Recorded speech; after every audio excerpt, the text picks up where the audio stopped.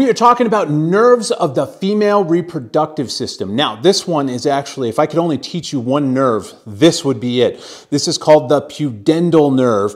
It is right here. You're going to see down low, it actually has three branches. Uh, it's going to have one that goes to the anal sphincter. It's going to have a mid branch that actually comes down to what's hopefully a very familiar structure at this point to the clitoris and actually, actually innervates the glans, the very tip of the clitoris specifically.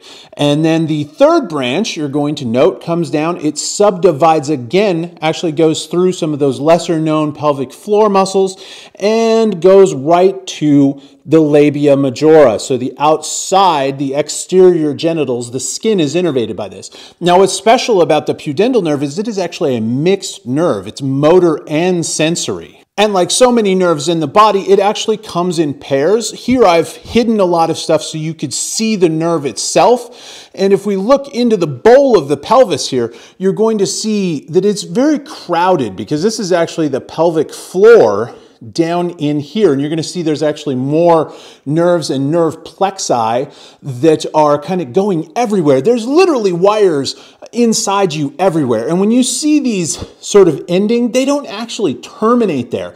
They're just subdividing into smaller and smaller nerves until they're basically everywhere throughout your skin. Here we've just pivoted around to the back so you can see where it originates. It's actually a sacral nerve. It comes from origins at S2, 3, and 4 and flows down, joins up for uh, kind of cable management in the body because it's actually diving through a hole here where the sciatic nerve is, and then coming down and dividing into those spots that we already talked about. Now, a little bonus here this big nerve, this one that you see that's running down the leg all the way to the foot, uh, that is the sciatic nerve. And you're going to note that the pudendal nerve is actually part of this. And you can see where you're going to get mixed sensations sometimes when things go wrong. A perfect example of this is if you've ever sat on the toilet for too long and had your leg or maybe your genitals in the front go a little numb, you are actually compressing these two nerve structures.